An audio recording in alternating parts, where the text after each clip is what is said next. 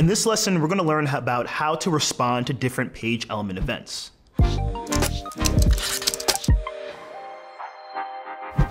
So in the last lesson, we learned about how to use $W on ready so that when the page loads, it's going to present or display the elements and the functions that we already have inside of our on ready function.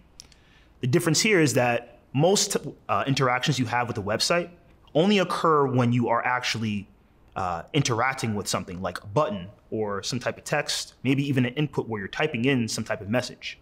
These are uh, uh, instances when you're actually interacting with elements. It doesn't always happen when the page loads. All right, so now we're going to go a bit further into creating and handling events dynamically with our website. So uh, you might have seen before inside of the properties panel, when you select an element, there are a list of event handlers that are there. So let's take a look at what happens when we drag and drop a button onto our page and some of the options we already have available for us. So I can drag and drop this button here, add it to my page, even change some designs up. So I just change the color to something that's going to suit my website. So let's change it to this blue. There's no need for me to go and change anything with the label at the moment. Um, I can do that prog programmatically. I can do that uh, with uh, the menu that's already here. But let's just take a second to look at the event handler first. So on the side here, we could have our button 12. And let's change this button to something a little bit different. Here, for this instance, I'm going to create a button to read more text. So currently right now above this button I have is a piece of text here that's labeled as space message that's just explaining what space is. But let's just say our site visitor wants to learn something more. We can add additional text underneath it, and when we click the button, we want to display that additional text. So let's just go here to the button and rename it to read more. Okay. No need for us to change any of the options for the default values, but the event handlers that are here are, already set for us to go. And we have on click, on double click, on, on mouse in, which is like when we hover, on mouse out is when we move the mouse away. So if we hover in and hover out, uh, we also have viewport enter and viewport leave. That's when we enter a certain space we want an event to happen. A lot of these things are already built in and ready to go, but these are all static events. So they're only gonna happen specifically when we click this event uh, for that specific uh, element that we have on the page. But we want to do things dynamically when we're creating these websites. So let's get to that. Uh, so instead of clicking this on click function that's here, we can go uh, read more. It creates this export function for us, but it keeps us sort of in this box, which is good for some instances, uh, but we won't be doing that in this lesson. So we have the button already here on the page. Let's change out what this says to Instead of button, we're going to change this to read more. Now I can do this programmatically using the label property for the button, or I can just change things right here in the menu. Just depends on what I really want to display. So what we'll do now is we're going to drag and drop a text element into the page to match the same style of the text that we have above for this space message. So we want to display some more information about space for our visitors that have a thirst for some more knowledge. So we'll go here to the add panel again, and we'll even minimize our code panel just for some more space for design purposes. And we'll go here and add a heading six. And in this heading six, we want to match that same style that we have um, inside of this space message above. So I already have a message for the explaining the rest of space here. So I'm just gonna do paste and match style. And what I'll do is also change the color because I want to keep things consistent. And then let's go and change our font to Open Sans.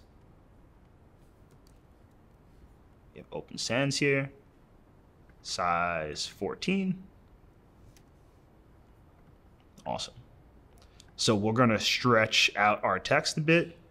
And you can always continue to edit uh, the text as you go. You have the freedom to do so if you're coding along. and we'll match it up here. And again, we'll just go and even some things out. There we go. And we'll message, we'll change this text 49 since we don't want to work with those weird names. And we're going to change that to additional text. Right? So now this additional text is something that we don't want to display as soon as the page loads. So there's some default values and options that we can actually mess around with now. So we're going to choose the default value to collapse this element uh, before the page loads and displays to our users. So let's see what that looks like after we select the option. So right now it's unselected. We don't have any collapsed um, elements here. But when I do select it, we won't see additional text showing up on our page. So if we go to preview mode, we close down our developer console, you'll see that I do not see the additional text here. I just see our space message and the button that we have displayed. So back to the editor. What I'm going to do now, open up my code panel a bit. So now our additional text is collapsed by that default value that we've already selected. So you can check to see if an element's already collapsed by looking at it and seeing all these lines going through. So when it's not selected, you can understand that this was a collapsed element or not. And since it's collapsed, we want to change the action when a certain event is handled by clicking a button, right? So we already have this read more button already here, uh, ready to be uh, worked with. And what we're going to do is we're going to create a function within our onReady function that allows us to click this button whenever uh, a user interacts with it. So right now, what we'll do, we'll select the button and then add an event handler to the button dynamically instead of static. So we'll just uh, simply select with $W again. We'll select our read more button. And with our read more button, we're going to add an event handler for on click so that when we click this button element, we will have a certain action happen. So remember, the web is just full of different interactions. That's the whole point. Uh, like think about when you're going to a search engine and you type some type of input into the text element and you click search. You know what I mean? That search is going to have a different interaction than if I click the links that show up that uh, from my search on the engine. So everything has their own type of experience when you have it displayed on a web page, and that's the whole point of creating uh, these event handlers uh, right here. So with this event handler, we want to uh, give it the, uh, the action so that when we click it, something's gonna happen. So we'll just type in on, and you already see from the autofill here, on click, on double click, on mouse in, on mouse out, viewport enter, viewport leave. These are all different events that you can handle uh, when we're interacting with this type of data type here for a string or for a button actually. So we're actually just go and do on click because we when we click this button, we want something to happen. And we'll open up this arrow function here. So within this arrow function that we have for this on click, we want to add this additional selector for the additional text so that when we click the button, we expand the text instead of it being collapsed. So let's select our additional text with $W once more. Additional text. And right here, we want to expand it. And expand is just a simple function here. So the next thing we'll do, I always like to format my code and make sure everything's nice and clean before I get ready to go. And you'll see here I don't have any errors, so that's looking nice. And we'll go here to preview mode.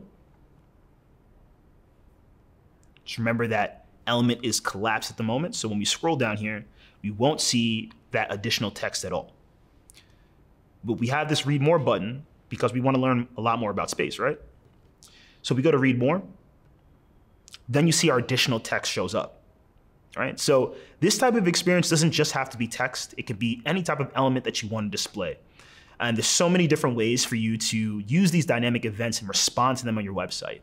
When you're creating these experiences, just think about you being the user and you uh, actually using that website, right? What's gonna happen if I click this button? What happens if I hover over this element?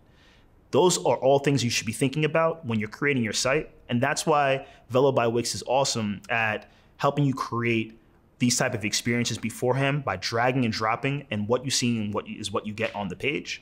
And then as soon as we know exactly how we want our page to be mapped out, we can then use Velo to add the code to actually give our users the more power to interact with our websites the way that we envision it. So we'll go back to our editor and we'll just go over this code once again, very briefly.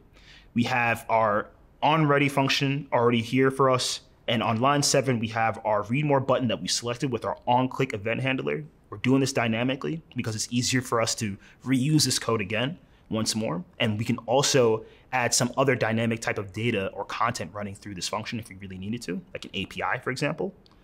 And on the second line here, we're just using $W to a select the additional text and expand it because by default, we already had it collapsed.